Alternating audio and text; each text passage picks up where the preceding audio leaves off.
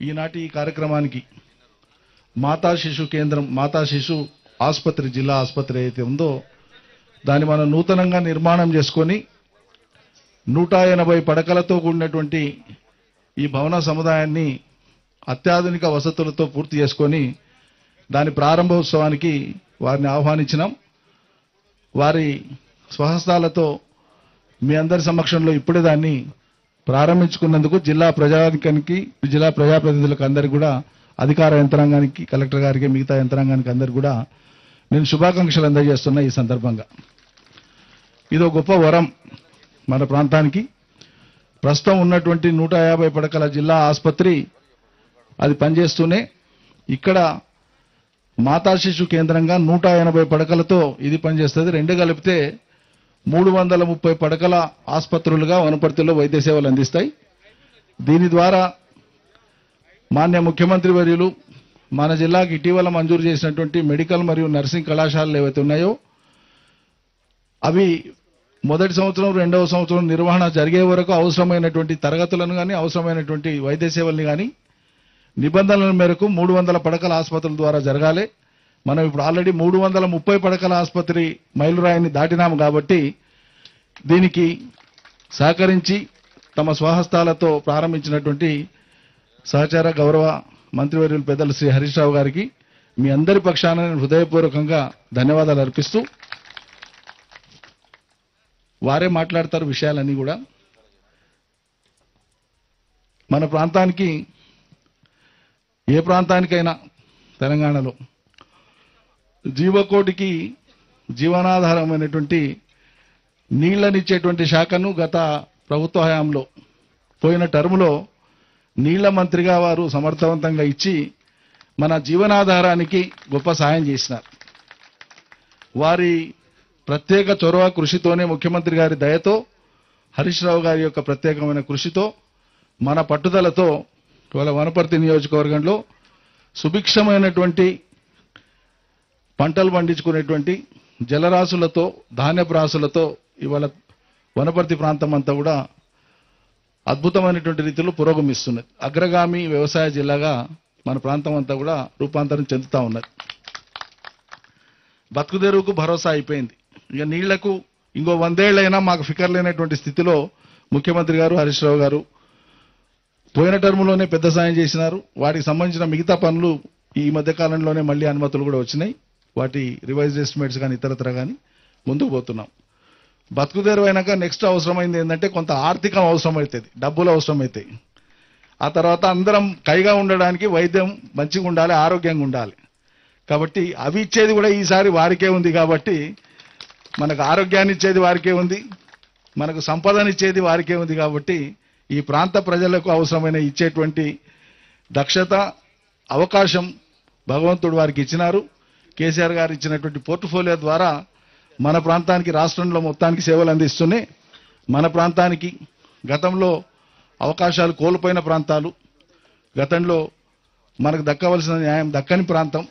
కాబట్టి మనకు పరిపూర్ణమైనటువంటి న్యాయం దక్కేదాకా వారి కృషి మనకు ఉంటుందని చెప్పి నేను భావిస్తూ ఉండాలని చెప్పి కోరుతూ ఇక్కడి నుంచి జిల్లా ఆసుపత్రికి వెళ్తాం. అక్కడ how many beds that is? Twenty bedded SNCU అని ఉంటుంది. దాన్ని ఇనాగ్రేషన్ చేసుకొని అక్కడి నుంచి నూతనంగా నిర్మాణం అవుతున్నటువంటి మెడికల్ మరియు నర్సింగ్ కాలేజ్కి సంబంధించినటువంటి సైట్స్ వాటినన్నింటినీ కూడా ఒకసారి వారు పరిశీలన చేస్తామన్నారు. ఆ తదుపరి ఇక్కడి నుంచి మళ్ళీ కొల్లాపూర్ దాని మీదుగా నాగరికల్ నియోజకవర్గాల పర్యటన ఉంది. మరి వారికి ఈ సందర్భంగా మరొకసారి నేను హృదయపూర్వకంగా ధన్యవాదాలు అర్పిస్తూ మెడికల్ ఇన్ఫ్రాస్ట్రక్చర్ కార్పొరేషన్ వారు ఈ పనిని చేపట్టి సకాలంలో పూర్తి చేసినందుకు ఆ సంస్థ చైర్మన్ మా తమ్ముడు డాక్టర్ ఎర్రోల శ్రీనివాస్కి అదేవిధంగా ఆ సంస్థకు సంబంధించినటువంటి ఎండి గారికి ఇతర సిబ్బందికి ఇంజనీరింగ్ సిబ్బందికి పర్యక పర్యవేక్షణ చేసినటువంటి రాష్ట్ర ఉన్నతాధికారులకు జిల్లాలో ఎప్పటికప్పుడు ప్రతి పనిని కూడా నేను పురమాయించగానే ఒక మాట ఇట్లా ఉంది అని చెప్పగానే ఇంకా వేగాన్ని పెంచి పనుల యొక్క పరిపూర్ణత కోసం కృషి చేస్తున్నటువంటి కలెక్టర్ శ్రీమతి అశ్విన్ భాష గారికి నేను ప్రత్యేకంగా వీళ్ళందరికీ కూడా ధన్యవాదాలు అర్పిస్తూ ఇప్పుడు మీడియాను ఉద్దేశించి మాట్లాడవలసిందిగా మాన్య మంత్రివర్యులు గౌరవనీయులు శ్రీ హరీష్ రావు గారిని అభ్యర్థిస్తున్నాను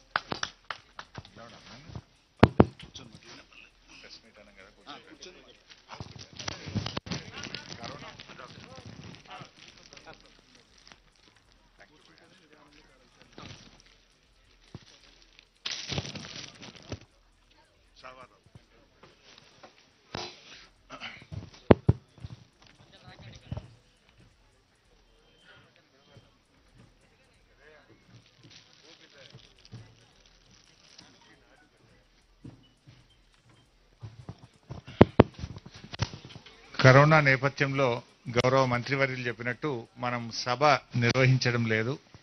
ఇంత దూరం వచ్చినాం కనుక ఈ ప్రెస్ మిత్రులు డిసప్పాయింట్ కావద్దని గౌరవ మంత్రివర్యులు నిరంజన్ అన్న గారి రిక్వెస్ట్ మేరకు ప్రెస్ మీట్ మాట్లాడుతున్నాం. యాక్చువల్గా ఇది కూడా లేదు. బట్ మా ప్రెస్ మిత్రులు డిసప్పాయింట్ అవుతారు. సభ లేకున్నా సరే కానీ కనీసం ప్రెస్ మీట్ అన్న మాట్లాడాలి అని మా మంత్రివర్యులు పెద్దలు నిరంజన్ అన్న విజ్ఞప్తి మేరకు మనం ఈ ప్రెస్ మీట్ కార్యక్రమాన్ని నిర్వహించుకుంటున్నాం.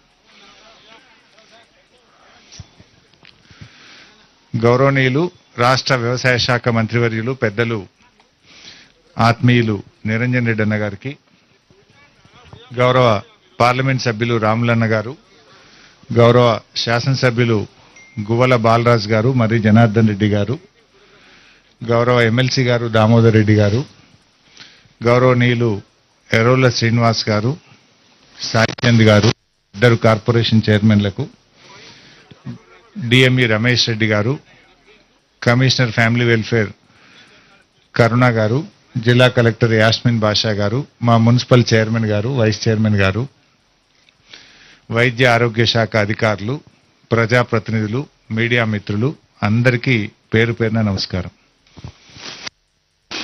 చాలా సంతోషం. మా నిరంజనన్న గారి కాన్స్టెన్సీలో ఇవాళ జరుగుతున్న అభివృద్ధి దారి వెంట చూస్తూ ఉంటే నాకెంతో సంతోషం కలిగింది. ఎటు చూసినా ఏ రహదారి చూసినా ఫోర్ లైన్ రహదారిగా వనపర్తి ఒక జిల్లా కేంద్రానికి రూపుదిద్దుకుంటా ఉంది. వారెంతో ప్రత్యేకమైన శ్రద్ధతోని ఇవాళ వనపర్తి పట్టణానికి నలుదిక్కుల కూడా ఆరు రోడ్లు ఆరు కదన్నా? ఆరు రోడ్లను కూడా ఫోర్ లైన్ రోడ్స్గా వారు చాలా అద్భుతంగా దాని వెనుక ఎంత శ్రమ ఉంటుందో నాకు తెలుసు. సిద్దిపేటలో ఒక సుభాష్ రోడ్ అనే ఒక్క రోడ్ వైడనింగ్ చేయడానికి నాకు సంవత్సరంన్నర పట్టింది. ఒక్కటే రోడ్ వైడన్ చేయాలంటే ఎన్ని కేసులో ఎన్ని బతిన్లాళ్ళలో ఎన్ని ఇబ్బందులో నేను స్వయంగా అనుభవించిన వాడిని. ఆరు రోడ్లు ఇవాళ నిరంజన్ రెడ్డి గారు ఫోర్ లైన్ రోడ్డుగా చేస్తున్నారంటే దాని వెనుక వారి కృషి ఎంత ఉంటుందో నాకు అర్థమైంది. చాలా అద్భుతంగా వారు చేస్తున్నారు. వారిని మనస్ఫూర్తిగా నేను అభినందిస్తూ ఆ అవకాశాన్ని కూడా నిరంజన తీసుకున్నారు. మీరు తొందరగా ఆర్థిక శాఖ నుంచి నిధులు ఇస్తే నేను ఇంకా తొందరగా ఈ రోడ్లు పూర్తి చేస్తా అనే బరువు బాధ్యత కూడా నా మీద పెట్టిండు మా అన్నగారు. తప్పకుండా సంపూర్ణమైనటువంటి సహకారం అందిస్తాం. వారికి గౌరవ ముఖ్యమంత్రి గారి యొక్క పూర్తి ఆశీస్సులు మా నిరంజనకు ఉంటాయి. మొన్న ముఖ్యమంత్రి గారి పర్యటన సందర్భంగా నాకు తెలిసి మా అన్నగారు దాదాపు ఒక వెయ్యి కోట్ల రూపాయల శాంక్షన్ తీసుకున్నాడు. సో కరోనా వల్ల కొంత వాయిదా పడ్డా బట్ రావాల్సిన అన్ని శాంక్షన్స్ కూడా యుద్ధ ప్రాతిపదికన అంగుళం అంగుళం అడుగు అడుగున ప్రతి సెక్షన్లో కూడా ఫైల్ను మానిటర్ చేసి తెప్పించి తన ప్రజలకు అందించాలనే తపన ప్రతి క్షణం ప్రతి ప్రతి అడుగులో నేను అన్నగారి దగ్గర చూస్తూ ఉంటాను. చాలా సంతోషం. ఈరోజు పదిహేడు కోట్ల రూపాయలతోని నూట ఎనభై పడకల మాతా శిశు సంక్షేమ ఆసుపత్రిని మనం వనపర్తి పట్టణంలో ఈరోజు ప్రారంభించుకోవడం జరిగింది. అదేవిధంగా ఒక ఎస్ఎన్సియు కేంద్రం. మనము అప్పుడే పుట్టినటువంటి పిల్లలను బాగు చేయడం కోసం శిశు మరణాలు తగ్గించడం కోసం మన రాష్ట్రంలో ఈ ప్రత్యేక నవజాత శిశు సంరక్షణ కేంద్రాలను ఏర్పాటు చేసుకోవడం జరుగుతూ ఉంది. అది కూడా కొద్ది నిమిషాల్లో మనం ఆసుపత్రిలో ప్రారంభించుకుంటాం. దాంతోపాటు ఒక టీ డయాగ్నోస్టిక్ సెంటర్ కోటి యాభై లక్షల రూపాయలతో వనపర్తి జిల్లాకు ప్రత్యేకంగా ఒక టీ డయాగ్నోస్టిక్ సెంటర్ను కూడా నిరంజనన్న గారి ఆలోచన మేరకు వారి విజ్ఞప్తి మేరకు మనం ఇక్కడ మంజూరు చేసుకొని శంకుస్థాపన చేసుకున్నాం. అదేవిధంగా రోడ్డు కూడా ఇప్పుడు మనం శంకుస్థాపన చేసుకున్నాం.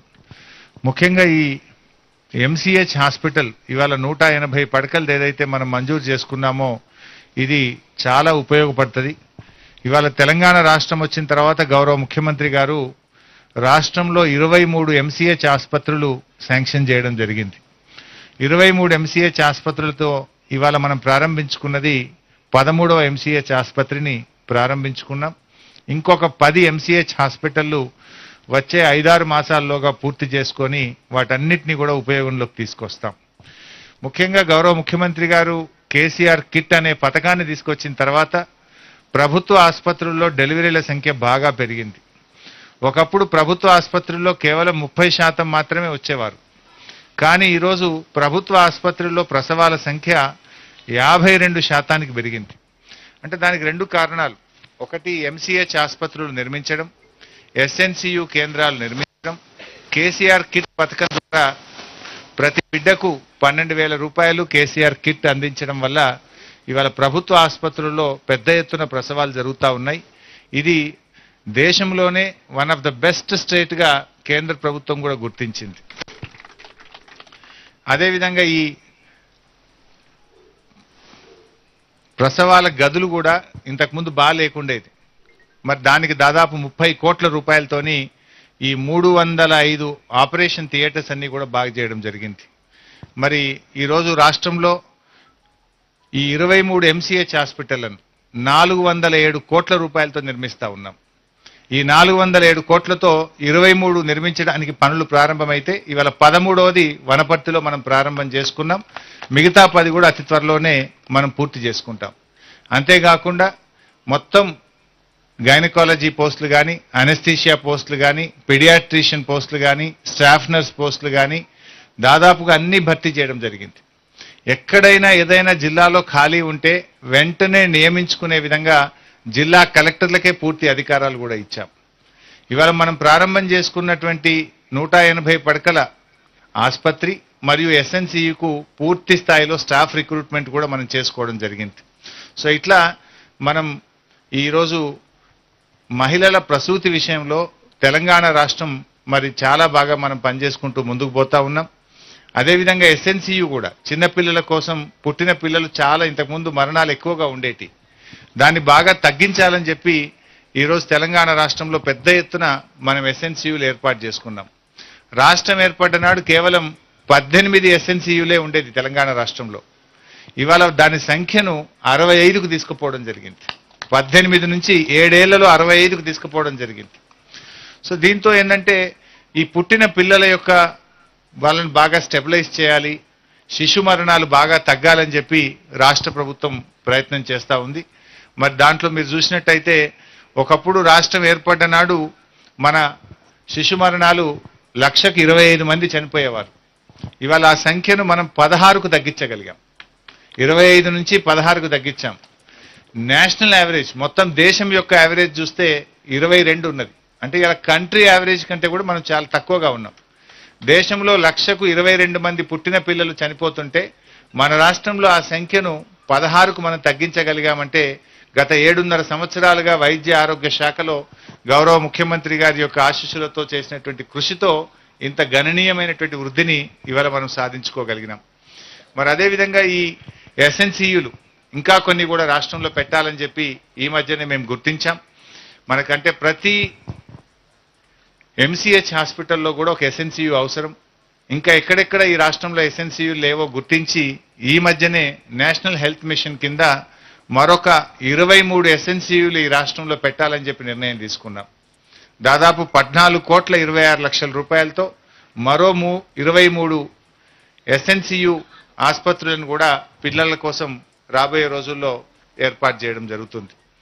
ముఖ్యంగా ఈరోజు మహబూబ్ నగర్ జిల్లా ఉమ్మడి మహబూబ్ నగర్ జిల్లా చూస్తే ఆనాడు పదేళ్ళు కాంగ్రెస్ పరిపాలించింది. అంతకుముందు తెలుగుదేశం పరిపాలించింది. ఈ జిల్లా నుంచే వైద్య ఆరోగ్య శాఖ మంత్రి పనిచేసినారు. కానీ జిల్లాకు ఒక ప్రభుత్వ మెడికల్ కాలేజీ మాత్రం తేలేకపోయింది. మాటలు కోటలు దాటినాయి తప్ప జిల్లా అభివృద్ధి మాత్రం జరగలేదు. సాగునీటి రంగంలో వివక్ష విద్యలో వివక్ష వైద్యంలో వివక్ష అన్ని రంగాల్లో కూడా ఈ జిల్లాను వెనుకబడేసినటువంటి ఘనత గత పాలకులది. అప్పటి కాంగ్రెస్ తెలుగుదేశం పాలకులది. వాళ్ళు ఏనాడు కూడా జిల్లా అభివృద్ధి గురించి పట్టించుకున్న పాపాన పోలే ఇలా మహబూబ్ నగర్ జిల్లా ఇంత అద్భుతంగా అభివృద్ధి జరుగుతుందంటే ఇది గౌరవ ముఖ్యమంత్రి కేసీఆర్ యొక్క ఆశీస్సులతో జరుగుతూ ఉంది. పెండింగ్ ప్రాజెక్టులు పూర్తి చేసుకోవడం ఇటు పాలమూరును మనం అద్భుతంగా యుద్ధ ప్రాతిపదికన చేసుకోవడం గట్టుకు ఈ మధ్యనే గద్వాల్లో టెండర్లు కూడా పిలుచుకున్నాం. ఆలంపూర్లో మనం ఆర్డీఎస్ ఎత్తిపోతల పథకాన్ని కూడా పూర్తి చేసుకొని వాళ్ళకు కూడా మనం సాగునీరు అందించుకున్నాం. తొమ్మిళ్ళ లిఫ్ట్ ఇరిగేషన్ కూడా పూర్తి చేసి నీళ్ళు అందించుకున్నాం. అంటే ఇటు సాగునీటి రంగంలో గణనీయమైన వృద్ధిని తెచ్చుకున్నాం. వైద్య రంగంలో మీరు చూస్తే ఆనాడు ఈ ఉమ్మడి మహబూబ్ నగర్ జిల్లాలో ఒక్క డయాలసిస్ యూనిట్ లేకుండే. ఒక్క ఐసీయూ కేంద్రం లేకపోతుండే. ఇవాళ జిల్లాలో ఐదు డయాలసిస్ కేంద్రాలు పెట్టుకున్నాం. అన్ని ఆసుపత్రుల్లో ఐసీయూ ఏర్పాటు చేసుకోవడం జరుగుతూ ఉంది. వెంటిలేటర్లను కూడా మనం ప్రతి జిల్లా ఆసుపత్రి స్థాయిలో వెంటిలేటర్లు కూడా ఏర్పాటు చేసుకున్నాం. ఆనాడు అసలు ఒక్క మెడికల్ కాలేజీ లేదు. ఇవాళ మూడు ప్రభుత్వ మెడికల్ కాలేజీలు ఉమ్మడి మహబూబ్ నగర్ జిల్లాకు వచ్చినాయంటే ఇది కేవలం కేసీఆర్ గారి ఆశీస్సులతో వచ్చినాయి. పదిహేను వందల కోట్ల రూపాయలతోని ఉమ్మడి మహబూబ్ నగర్ జిల్లాలో మూడు ప్రభుత్వ మెడికల్ కాలేజీలు ఈరోజు మనం తెచ్చుకుంటా ఉన్నాం. మహబూబ్ నగర్ మెడికల్ కాలేజీలో పీజీ అడ్మిషన్స్ కూడా స్టార్ట్ చేసినాం మనం. మరి వనపర్తి నాగర్ కర్నూలు మెడికల్ కాలేజీలను వచ్చే విద్యా సంవత్సరంలో పిల్లల్ని చేర్చుకొని ఆ కాలేజీలను మనం ప్రారంభం చేసుకోబోతున్నాం. యుద్ధ ప్రాతిపదికన కాలేజీ నిర్మాణం జరుగుతూ ఉంది. ఇప్పటికే ప్రొఫెసర్లందరినీ కూడా పోస్టింగ్ ఇచ్చాం. వనపర్తిలో చాలా మంది అసోసియేట్ ప్రొఫెసర్లు ప్రొఫెసర్లు మేము ప్రమోషన్లు ఇచ్చి ఇక్కడ పోస్టింగ్ కూడా ఇచ్చిన వాళ్ళందరూ రిపోర్ట్ కూడా చేసినారు. అంటే డెబ్బై ఏళ్ళలో ఒక్క ప్రభుత్వ మెడికల్ కాలేజీ రాలేదు కానీ ఇవాళ ఏడు ఏడు సంవత్సరాల్లోనే మూడు ప్రభుత్వ మెడికల్ కాలేజీలను పదిహేను వందల కోట్ల రూపాయలతో ఈ జిల్లాకు మనం సాధించుకోగలిగినాం. అదేవిధంగా నర్సింగ్ కాలేజీలు. వనపర్తిలో ఇలా యాభై కోట్లతో నర్సింగ్ కాలేజ్ పెడుతున్నాం. మహబూబ్ నగర్లో యాభై కోట్లతో నర్సింగ్ కాలేజ్ వస్తుంది. గద్వాల్లో యాభై కోట్లతో నర్సింగ్ కాలేజ్ వస్తుంది. నాగర్ కర్నూల్లో యాభై కోట్ల రూపాయలతో నర్సింగ్ కాలేజ్ వస్తుంది. అంటే ముమ్మడి మహబూబ్ నగర్ జిల్లాలో రెండు వందల కోట్ల రూపాయలతోని నాలుగు నర్సింగ్ కాలేజీలను కూడా వచ్చే విద్యా సంవత్సరం నుంచి ప్రారంభం చేయబోతా ఉన్నాం. అంటే ఇక్కడ ఇప్పటికే జేఎన్టీయూ ఇంజనీరింగ్ కాలేజ్ వచ్చింది. అంటే ఎన్నో రకాలుగా విద్యలో ప్ర- ప్రభుత్వం మహబూబ్ నగర్ జిల్లాను ముందుకు తీసుకుపోగలిగినాం. వైద్యంలో ముందుకు తీసుకుపోగలిగినాం. సాగునీటి రంగంలో అద్భుతమైనటువంటి పురోగతిని మనం మహబూబ్ నగర్ జిల్లా మనం సాధించుకున్నాం. అంటే ముఖ్యమంత్రి గారికి ఈ జిల్లా మీద ఎనలేని ప్రేమ. ప్రతి విషయంలో కూడా ఈ జిల్లా మీద వారు ఎప్పుడు ప్రత్యేకమైనటువంటి దృష్టి పెట్టినారు. ఇవాళ ఐదు జిల్లాలు ఏర్పడితే ఐదు జిల్లాల్లో టీ డయాగ్నాస్టిక్ సెంటర్స్ తెచ్చినాం. ఇటు నారాయణపేటలో గద్వాల్లో వనపర్తిలో నాగర్ కర్నూల్లో మహబూబ్ నగర్లో. అన్ని చోట్ల కూడా టీ డయాగ్నోస్టిక్ సెంటర్స్ను తెచ్చి ప్రజలకు నాణ్యమైనటువంటి వైద్య పరీక్షలు ఉచితంగా ప్రభుత్వ రంగంలో చేస్తూ ఉన్నాం. ఐదు జిల్లాల్లో పథాలజీ ల్యాబ్లు రేడియాలజీ ల్యాబ్లు. అంటే బ్లడ్ టెస్ట్ అన్ని రకాల పరీక్షలతో పాటు సిటీ స్కాన్ మిషన్లు అదేవిధంగా వాళ్ళకు అవసరమైన ఇతర అన్ని రకాల పరీక్షలు కూడా ప్రభుత్వ రంగంలో జరిగే విధంగా రేడియాలజీ ల్యాబ్లను కూడా ఐదు జిల్లాల్లో ఈరోజు అందుబాటులోకి తేబోతా ఉన్నాం. వచ్చే మూడు నాలుగు నెలల్లోనే ఈ రేడియాలజీ ల్యాబ్స్ కూడా అన్ని జిల్లాల్లో అందుబాటులోకి తెస్తాం. ఈరోజు మ- మన వైద్య రంగంలో తెలంగాణ రాష్ట్రం దేశంలోనే మూడో స్థానంలో ఉన్నది. ఇది మనం చెప్పలే. కేంద్ర ప్రభుత్వంలోని నీతి ఆయోగ్ యొక్క వివరాలు. ఇవాళ దేశంలో మొదటి స్థానంలో కేరళ ఉంటే రెండవ స్థానంలో తమిళనాడు ఉంటే మూడవ స్థానంలో ఇవాళ తెలంగాణ రాష్ట్రం ఉంది. ఇవాళ దేశంలో అతిపెద్ద రాష్ట్రంగా చెప్పుకున్న ఈ ఉత్తరప్రదేశ్ చిట్ట చివరి స్థానంలో ఉంది. వైద్యంలో పేదలకు సేవలు అందించడంలో బీజేపీ పరిపాలిస్తున్న దేశంలోని అతిపెద్ద రాష్ట్రం ఉత్తరప్రదేశ్లో చివరి స్థానంలో నిలిచింది. మనం ఇవాళ ఒక్కొక్క సంవత్సరం పైకి వస్తూ వస్తూ మూడో స్థానంలోకి వచ్చాం. ఇవాళ మా వైద్య ఆరోగ్య శాఖ అధికారులు కూడా బాగా కష్టపడి పనిచేస్తున్నారు. రాబోయే రోజుల్లో ఇంకా మొదటి స్థానానికి వెళ్ళాలనేటువంటి ఒక పట్టుదలతో ఇవాళ ఈ రాష్ట్రంలో వైద్య ఆరోగ్య శాఖ సిబ్బంది అందరం కూడా గౌరవ ముఖ్యమంత్రి గారి ఆలోచనకు అనుగుణంగా పనిచేయడం జరుగుతూ ఉంది. సో ఈరోజు ఆరోగ్యశ్రీ కూడా గతంలో రెండు లక్షల రూపాయలు మాత్రమే లిమిట్ ఉండేది. ఈ మధ్యనే గౌరవ ముఖ్యమంత్రి గారు డయాలసిస్ పేషెంట్కి ఇబ్బంది అవుతుంది. కుటుంబంలో ఇద్దరికి సిక్ అయిపోతే ఆ లిమిట్ రెండు లక్షల కంటే ఒక సంవత్సరంలో వాడుకునే అవకాశం లేదని ఆరోగ్యశ్రీ పేషెంట్స్కు ప్రతి కుటుంబానికి ఐదు లక్షల రూపాయల వరకు ఉపయోగించుకునే విధంగా దాన్ని పెంచడం జరిగింది. అంటే ఏ కుటుంబమైనా ఒక సంవత్సరానికి ఐదు లక్షల రూపాయల వరకు ఆరోగ్యశ్రీ సేవలు అందుకునే అవకాశం ఉంటుంది. సో ఇప్పుడు మన నాగర్ కర్నూలులో కానీ వనపర్తిలో కానీ మహబూబ్ నగర్లో కానీ మనకు మెడికల్ కాలేజీలు వచ్చినాయి కనుక ఈ ఆరోగ్యశ్రీ ఆయుష్మాన్ భారత్ సేవలు కూడా ప్రభుత్వ ఆసుపత్రిలో పూర్తి స్థాయిలో వినియోగించుకునే విధంగా అన్ని రకాల ఎక్విప్మెంట్ కూడా అందుబాటులోకి తీసుకొచ్చాం. మరి ఈ సందర్భంగా నేను ప్రజలకు కూడా ఒక విజ్ఞప్తి. ఈ కరోనా సమయంలో ప్రజలు కూడా ప్రభుత్వంతో సహకరించాలి. దయచేసి అందరూ కూడా మాస్కులు ధరించండి. వ్యాక్సిన్ వేసుకోవాలని చెప్పి కూడా అందరికీ విజ్ఞప్తి చేస్తా ఉన్నాం. ఇంకా కొంతమంది వ్యాక్సిన్ వేసుకునే వాళ్ళు మిగిలినారు. అఫ్కోర్స్ మనకు వనపర్తి జిల్లా చాలా బాగా జరిగింది. First vaccine hundred and two percent అయింది. సెకండ్ వ్యాక్సిన్ డెబ్బై ఒక్క శాతం అయింది. మా జిల్లా కలెక్టర్ గారు కూడా ఉన్నారు యాస్మిన్ బాషా గారు. ఆ మిగతా ఇరవై తొమ్మిది శాతం డిఎంఎన్హెచ్ఓ గారు మీరు ఈ సెకండ్ వ్యాక్సిన్ హండ్రెడ్ పర్సెంట్ పూర్తి చేయించాలని చెప్పి విజ్ఞప్తి చేస్తున్నాం. అదేవిధంగా పదిహేను నుంచి పదిహేడు సంవత్సరాల పిల్లలు యంగ్ పిల్లలకు కూడా ఈరోజు మనం వ్యాక్సిన్ వేస్తున్నాం. పదిహేను నుంచి పదిహేడు సంవత్సరాల పిల్లల దాంట్లో రాష్ట్రంలోనే వనపర్తి జిల్లా మొదటి స్థానంలో ఉన్నది. పదిహేను నుంచి పదిహేడు ఏండ్ల పిల్లలకు తొంభై శాతం వ్యాక్సిన్ పూర్తి చేసిన జిల్లా ఫస్ట్ ప్లేస్లో ఉన్న జిల్లా వనపర్తి జిల్లా. మరి ఆయనతో పది శాతం కూడా పూర్తి చేసి యాస్మిన్ బాషా గారు రాష్ట్రంలో వంద శాతం పూర్తయిన తొలి జిల్లాగా మరి మా నిరంజన్ అన్న గౌరవం మీ అందరి ప్రతిష్టకు మరి ఇది పూర్తి చేయాలని చెప్పి కూడా నేను విజ్ఞప్తి చేస్తా ఉన్నా. మరి ఈ ప్రజలు కూడా దయచేసి మీరందరూ కూడా ఇవాళ ఇంటింటికి జ్వరం సర్వేలో మా అధికారులు వస్తూ ఉన్నారు. కానీ కొంతమంది జ్వరం ఉన్నా చెప్పడం లేదు. అది చెప్పకపోవడమే తప్పు. దయచేసి మీరు వైద్య ఆరోగ్య శాఖ అధికారులు ఇంటింటికి వచ్చినప్పుడు మీకు దగ్గు కానీ జలుబు కానీ జ్వరం కానీ ఆయాసం కానీ మీకు ఏ రకమైన ఇబ్బంది ఉన్నా చెప్పినట్టయితే వెంటనే హోమ్ ఐసోలేషన్ కిట్ ఇస్తారు.